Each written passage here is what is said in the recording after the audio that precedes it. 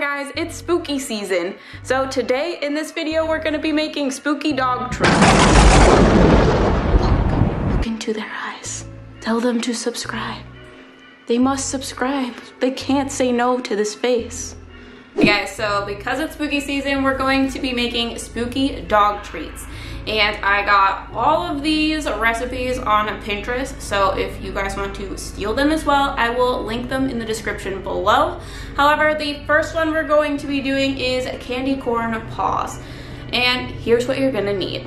First off, you need a silicone ice cube tray, and it's a bonus if you have them as paws, makes it even cuter. For the white portion of the candy cane, you're going to use a non-fat plain Greek yogurt. For the yellow portion of the candy cane, you're going to use a few bananas.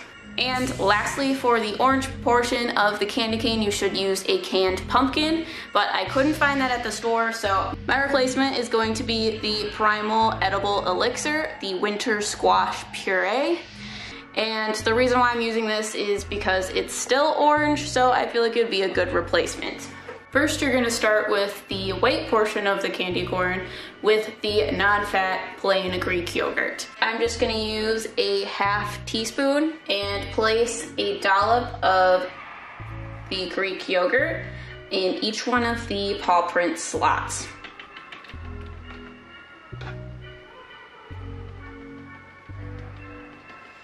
When you're placing the yogurt into the slots, make sure there is that it covers about one third of the slot because we're going to have three portions that we'll put in here.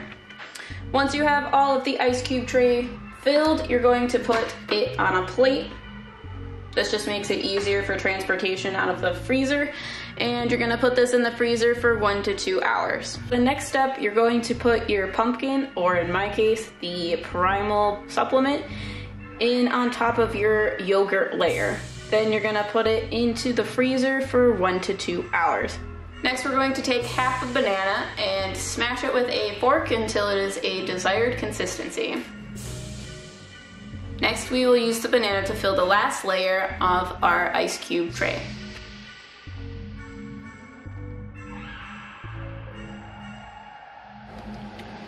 Once you have them all filled, you're going to put it in the freezer for one to two hours and then you'll be all done. Okay guys, I think our candy corn paws are ready to serve. Oh my god, they're so cute.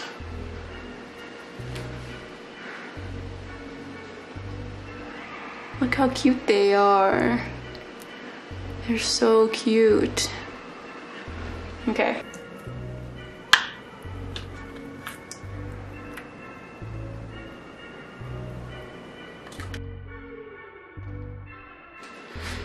Do you speak?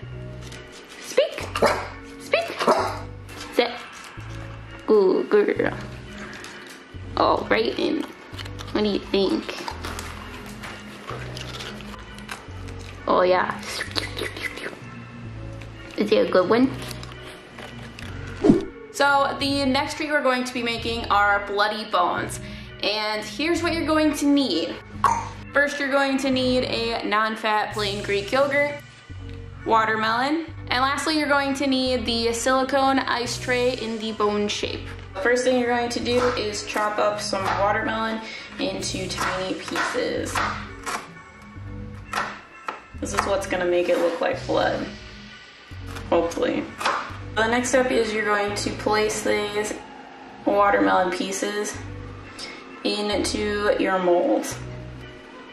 Once I was done with placing all the watermelon, I just used the rest of the juices on the cutting board and poured it into the slots, which as you can see worked out quite nicely because now my counter is all sticky. So I just took a knife and spread the yogurt over the watermelon. And bad cooker tip, I used a paper towel to wipe all the excess off so that they come out the freezer nice and neat. But hey, it works, doesn't it? Next, you're just going to put it on a plate and put it in the freezer for one to two hours.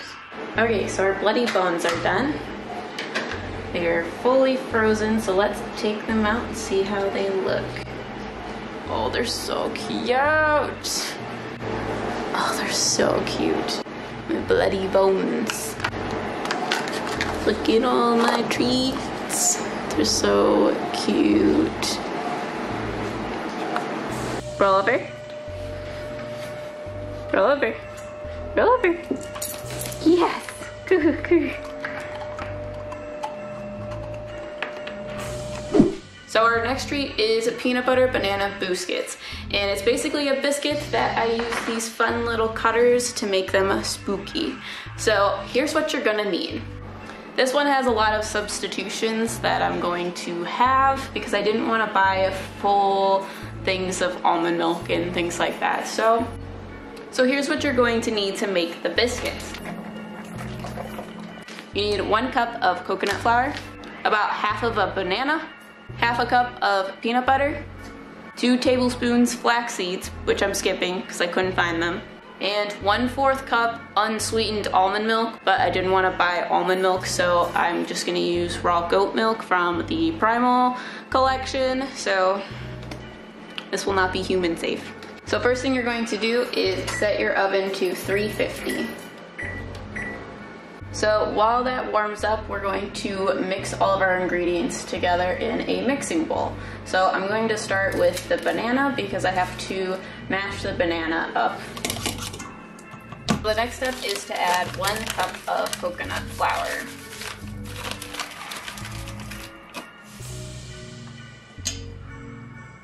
Next we're going to add one third cup of peanut butter. Lastly, we're going to add 1 4th cup of our raw goat milk. And then you just need to stir it all together.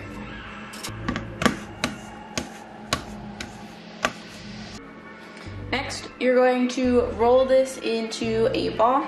You also want to use flour so that your dough doesn't stick to the surface. Here I'm using wax paper.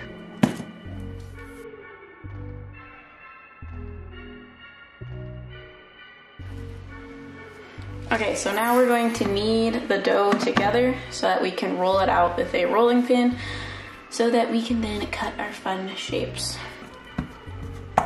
Now we have our dough.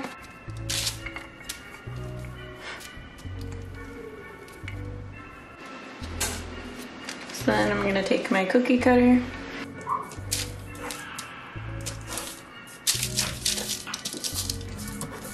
have your first cookie you're going to put it onto your baking sheet.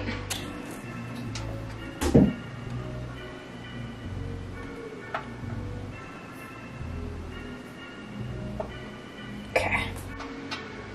Cookie cutter. I think it's gonna lose this arm.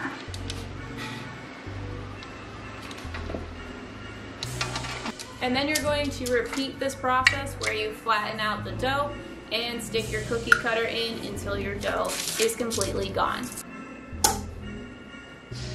Once you have all your shapes, all you need to do is cook it for 20 minutes.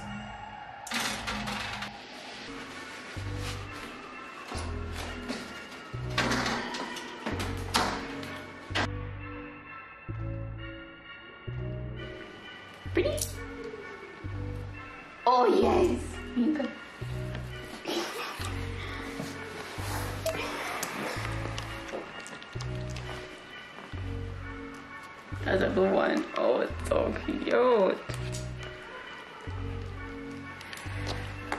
Peanut butter booskin.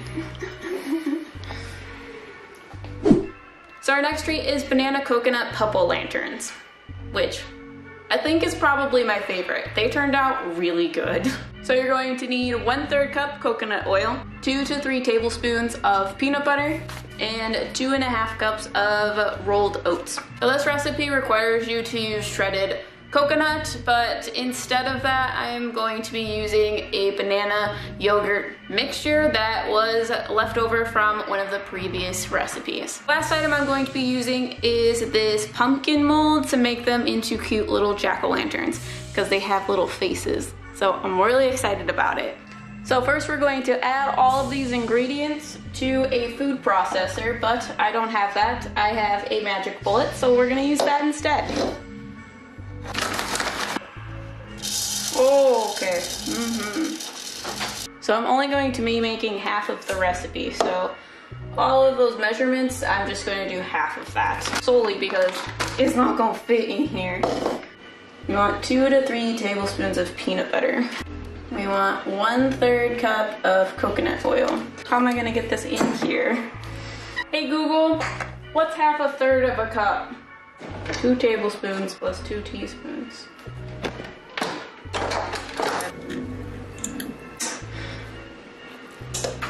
How am I gonna get you out of here? The cats really want what I'm making. Cooking is not my thing. now we gotta blend this together. This will be interesting. So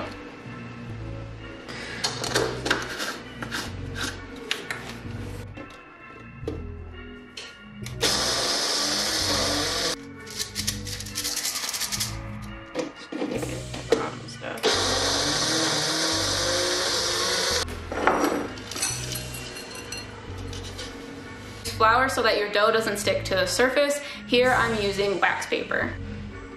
Next we're going to roll these into balls and I kind of want to see if I can put these faces on here. So that's why I have this here.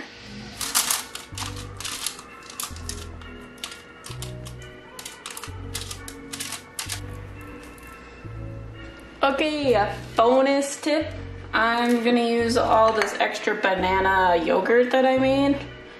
And I'm just gonna put this on the top of it and see what happens. I probably don't have enough for all of them, but I wanna see if this like is cooler. I don't know. I need like something to spread it. This will work.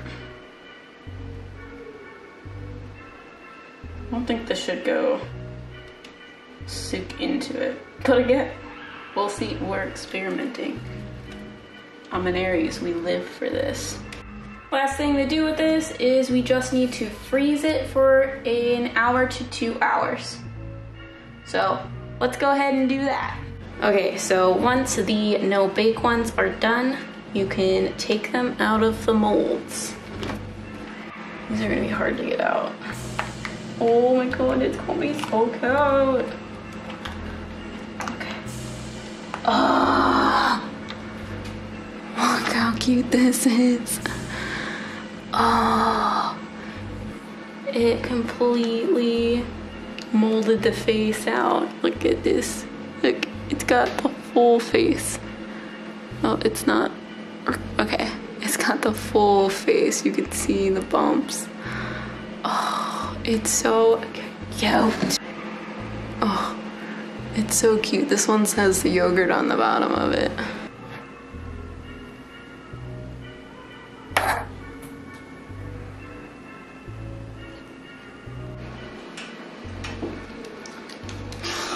God, you gave her that whole thing.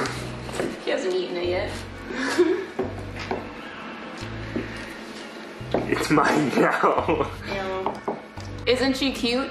And I think that last treat might have been my favorite. So if you guys enjoyed this video, just wait until next week. We're going to be doing even more spooky themed videos all throughout October. So make sure you subscribe and hit that notification bell so that you get notified when I post next. And while you guys wait, make sure you check out these videos next and I will see you guys in the next one.